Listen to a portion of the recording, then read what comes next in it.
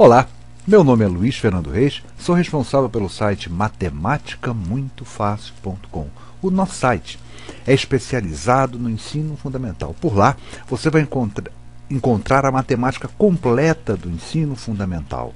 A parte de aritmética, de álgebra, geometria e também de análise completinha para que você possa estudar, aprimorar seus estudos. E um detalhe importante: o nosso site é um site 100% gratuito. Ele é gratuito do início ao fim. São mais de 320 páginas num site totalmente gratuito. Então você que está se preparando para o Enem, para o vestibular, para uma escola técnica, para uma escola militar, para um concurso público, fica aqui o convite. Não deixe de conhecer o nosso site, o matematicamuitofácil.com.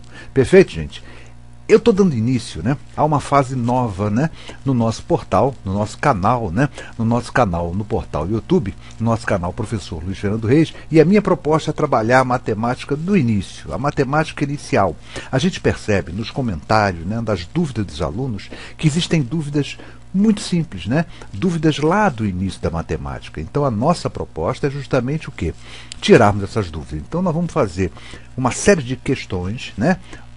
É, trabalhando muito a teoria, mas a teoria inicial, perfeito? O início da matemática, para a gente tirar muitas dessas dúvidas que os alunos têm, perfeito? Quer dizer, não adianta para um aluno pegar um, um, um, conteúdo um pouco mais difícil, ele não consegue conhecer a base, ele não recorda a base, tá certo? Então essa é a matemática inicial, onde nós vamos trabalhar conceitos bastante simples da matemática. Perfeito? Então, gente, isso vale para quem?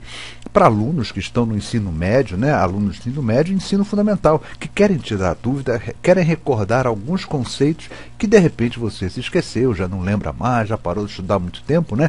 E é sempre importante a gente recordar o início da matemática, tá bom? A matemática inicial. Eu acho que dessa forma eu, eu estarei ajudando e muito os concursandos espalhados por esse meu Brasil afora. Perfeito, então, gente? É isso aí que eles falou, professor Luiz Fernando Reis, responsável pelo site matematicamuitofácil.com. E se você gostar dessa nossa videoaula, desse nosso espaço, não deixe de se inscrever no nosso canal. Eu acho que vai ter muita coisa boa vindo aí pela frente. Nós já temos mais de 1.700 videoaulas e muita coisa boa virá por aí. Gente, é isso aí. Obrigado pela atenção, pelo carinho de cada um de vocês e até a nossa próxima videoaula. Retornando com nossas resoluções de questões de concurso, vamos fazer uma questão aplicada pela Universidade Presbiteriana Mackenzie, né? São Paulo. É a famosa Universidade Mackenzie. Perfeito? Uma questão de porcentagem, é uma questão muito interessante. Não é uma questão difícil, não. Mas ela tem um detalhe que é bastante legal para a gente perceber. Tá? Vamos lá, vamos fazer essa questão? Um feirante comprou 33 caixas de tomate e cada uma custou 20 reais. Se na compra seguinte o preço de cada caixa aumentou em 10%, o feirante, com a mesma quantia gasta na primeira vez, pôde comprar um número de caixas igual a, bom, cinco itens, vamos ver qual deles é verdadeiro. Gente, vamos fazer por raciocínio, né? Vamos raciocinar um pouquinho, olha só. Quanto ele gastou na compra de 33 caixas? Né? São 33 caixas, cada uma custou 20 reais, ele gastou um total de 660 reais. Tá bom? Qual é o novo preço de cada caixa? Agora a caixa, gente, houve um aumento de 10%. Então a caixa, né, que custava 20, vai custar agora 10% mais. Ou seja, ela vai custar, em vez de 100%, que era o preço original, vai custar agora 110%. E quem trabalha né, com 110% é o mesmo que pegar o preço antigo, 20, e multiplicar por 1,1. Aí você perguntaria, mas por que 1,1? Gente, pensa assim, ó, isso aqui é 110 por 100 né? Divide o 110 por 100 dá 1,1. Então, achar 10% a mais de alguma coisa né, é multiplicar por 110%. Perfeito? Ou seja, é multiplicar por 1,1. Tá certo? Então a caixa de tomate agora custa 22 reais. Que é fácil, né? Aumentou 10%, era 20, 10% de 20 é 2, 20 mais 2, 22 reais, tá certo? Quantidade de caixas compradas após o aumento. Vamos ver agora, ele gastou 660, se ele vai dividir agora por 22, porque o preço da caixa aumentou, ele vai comprar apenas 30 caixas. Resposta certa é a letra E. Mas tem um detalhezinho aqui interessante, né, que a gente fica, né, embatucando aqui. Como é que a gente vai fazer isso? Gente, olha só que interessante. O gasto na compra de 33 caixas, lembra, não foi 33 vezes 20? O que aconteceu agora? Né? Essa caixa que era 20, né, ela foi multiplicada por 1,1. Mas esse preço que ele gastou, ele quer manter esse mesmo preço. Ele quer comprar com o mesmo dinheiro né, uma quantidade de caixas de tomate. Olha só o que eu fiz. Se eu multipliquei esse número aqui por 11 e esse preço está inalterado, gente, basta que eu divida esse número por 1,1. Perfeito? Ó, multipliquei por 11. Concorda quem multiplica por 11? Quem multiplica por 1,1 e divide por 1,1 não está fazendo nada, não está alterando nada. Esse preço não foi alterado.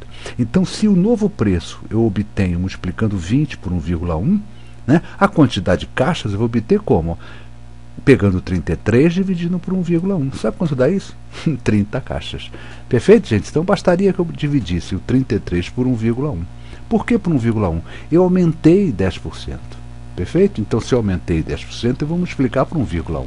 Então, eu vou dividir a quantidade de caixas por 1,1 e chegarei às 30 caixas. Perfeito? Então, gente, mais uma questão resolvida, uma questão interessante por esse detalhe assim, né? Que é interessante. A resposta certa está na letra E.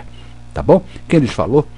Professor Luiz Fernando Reis, responsável pelo site matemáticamuitofácil.com, o endereço do nosso site está aqui. E fica daqui o convite né, para que vocês visitem o nosso site.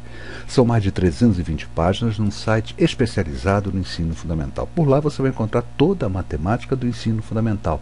Tá certo? Num site 100% gratuito. Então você fica livre para estudar quando puder, quando quiser.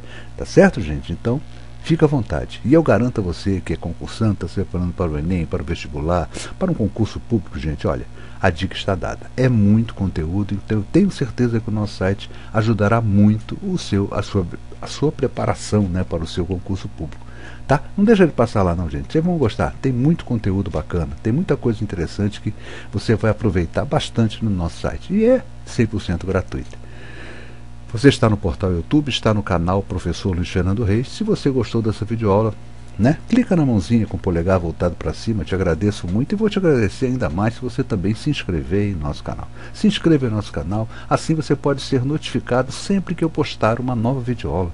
E eu estou num pique né, de postar videoaulas, eu estou chegando muito próximo de duas mil videoaulas. Então o nosso canal, o professor Luiz Fernando Reis, ele está perto de duas mil videoaulas. São duas mil, né? Duas mil videoaulas para que você possa estudar, aprimorar, tirar dúvidas, gente. A dica está dada, bastante playlists, né? Temos uma série de playlists lá onde você pode pesquisar o assunto que está que tá lhe interessando. Tá bom? Então, gente, é isso aí. Não deixa de visitar o nosso site matemáticamuitofácil.com e se você puder se inscrever no nosso canal, te agradeço, te agradeço muito. Gente, obrigado a vocês pelo carinho e pela atenção. Até a nossa próxima videoaula.